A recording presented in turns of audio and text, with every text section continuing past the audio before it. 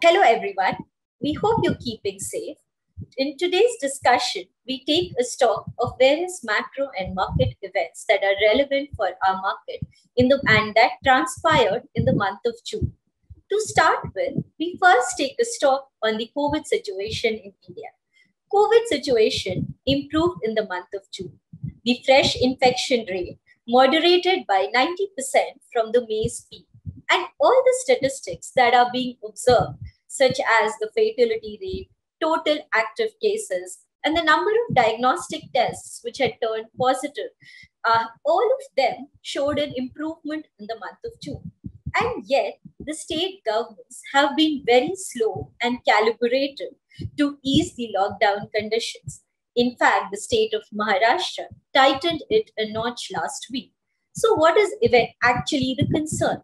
Actually, select medical experts as well as policymakers fear the prospects of research in, of COVID cases in India, something which they term as third wave.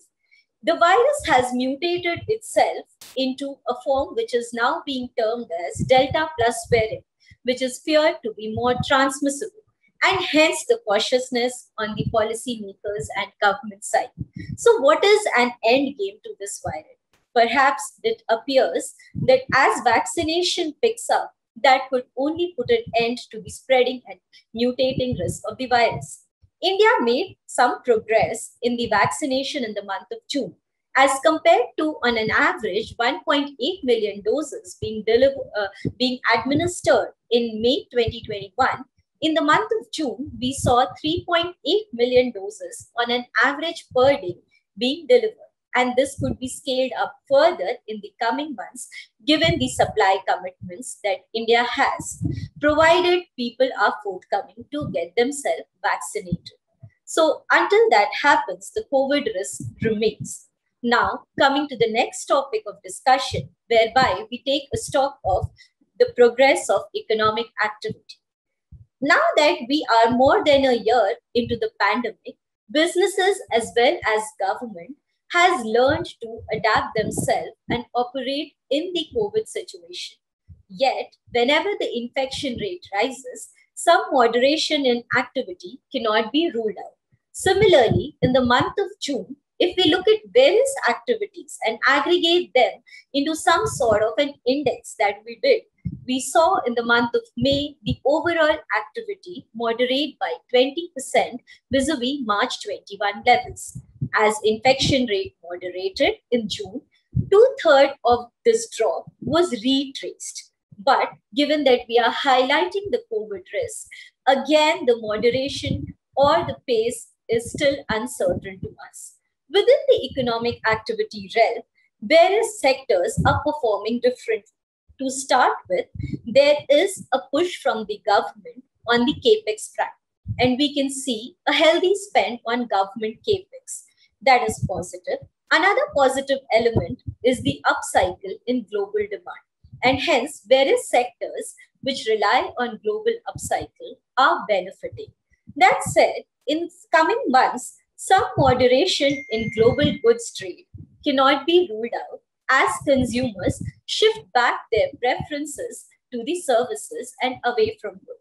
But on a broad realm of things, global upcycle and the related sector strength still holds in the coming quarters. Similar is the case with the uh, agriculture sector. And similar is the case with the overall financial services in India and the commodity cycle, commodity related sectors. So commodity prices has surged by nearly 60% in last 14 months. While that poses an inflation risk, it benefits the commodity producers particularly in the energy and metal space. And in fact, those are the segments where we have seen maximum rating upgrade, earnings upgrade in the equity segment. Agriculture sector, just as we spoke, is supported by the rising global exports of Indian agri commodities, better global prices, government support in the form of meaningful procurement, as well as additional subsidy allocation towards food and fertilizer, and very recently, a good trend on the monsoon progress. while the agriculture sector in the rural area is supported, we are not so positive about the other segments of the rural demand like we were a couple of quarters ago. Not only that, the entire household consumption demand, both in the rural and urban segment, is a relatively weaker link in the Indian economy. Unlike the global uh, counterparts, where there has been a check rollout from government to the consumers, a similar strength of support had not been there in the case of India. The Indian household saving as a percentage of GDP has, by the end of quarter three FY21, had broadly returned to the pre-COVID trend which tells you that there is not of not enough of accumulated savings with the Indian households to run down and consume. Consumer confidence is perhaps at the weakest. Employment situation overall is not as bright as it was or not as to the level as it was in the pre-COVID level, pre-COVID trends. And hence we see consumer demand to be the weakest link in the overall realm of demand. So, what does various positive and negative aspects mean from the perspective of growth outlook?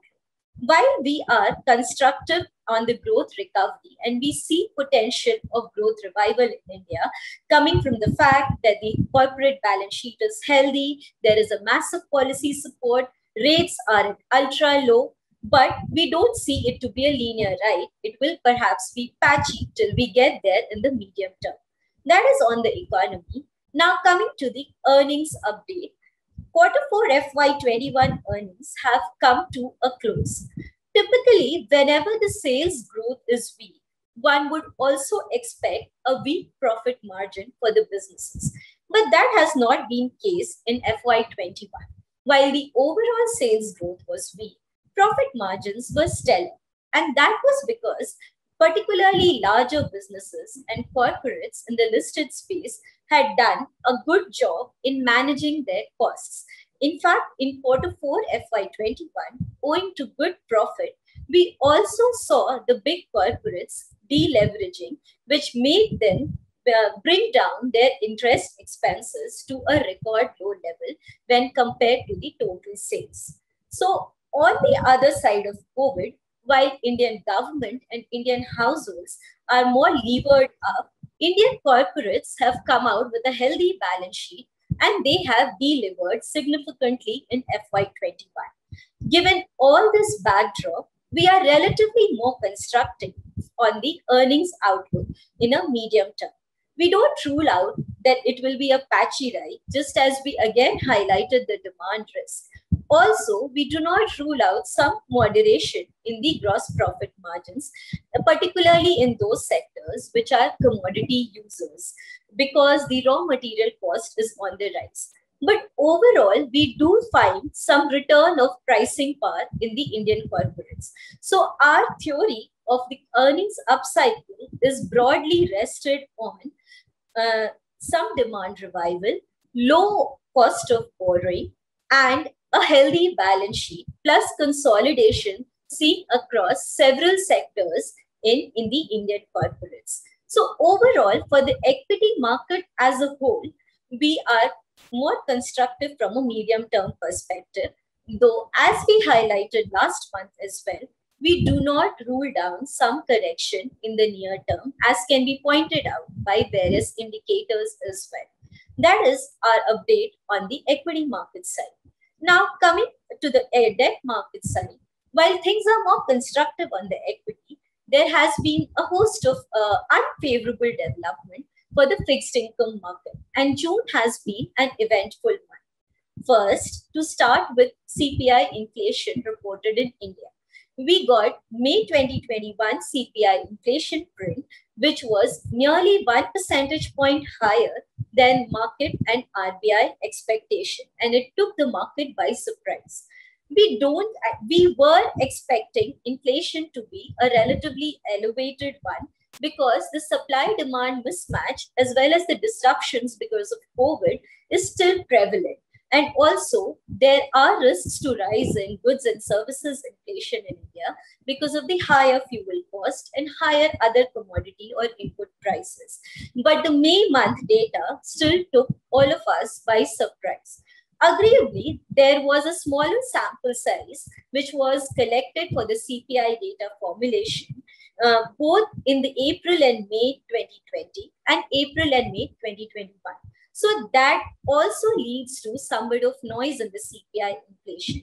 And in fact, one should ideally wait for a more uh, data in the coming months when there is a better sample size to get the true strength of a true momentum of the inflation in Indian economy. But I, what is what will be more important to watch is how RBI reacts to the elevated data print and relatively higher inflation vis-a-vis their own expectation.